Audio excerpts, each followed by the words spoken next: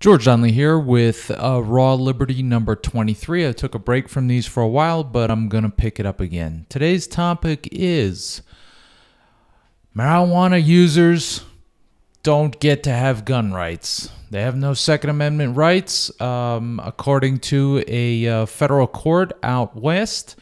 Uh, if you hold a, uh, marijuana uh, card in the states where you have uh, such cards, then um, you can uh, legitimately be denied your right to purchase a firearm.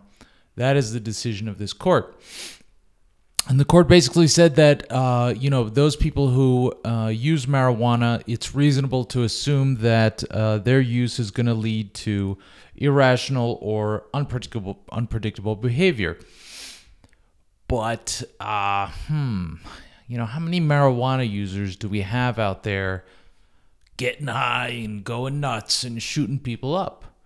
Uh, isn't it a more dangerous drug, uh, adrenaline, such as what cops are uh, raging on when they go and shoot people and then are not count, uh, held accountable for it?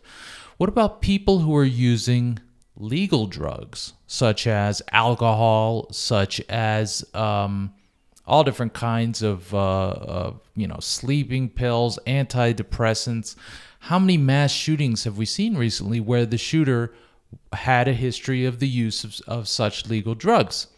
So um, I find this, you know, the uh, my libertarian position on this is utterly ridiculous. Um, the you know everyone has a Second Amendment right. Uh, at the same time, I recognize that um, you know, individual communities should have their own rules uh, about this. They have the right to determine who has guns and who doesn't. Uh, you know, the, this principle of local determination, individual determination is totally reasonable. But under our current, um, you know, uh, federal system in the United States, where more and more power is rising to the top of the chain, uh, to the federal government, to the state governments, people, we living on our communities, in our neighborhoods and whatnot, have less and less say over the manner in which we live. Libertarianism is about decentralization. So at the same time, where where libertarians say everyone needs to have their gun rights respected, at the same time, libertarians uh, recognize the right of individuals and individuals collaborating in communities to determine um, their own uh, fate, their own plan. If you want to start a community uh, that limits who has uh, gun rights, that's entire, entirely uh, you know voluntary. Well, that's totally you know libertarian approved. We, we have no problem with that.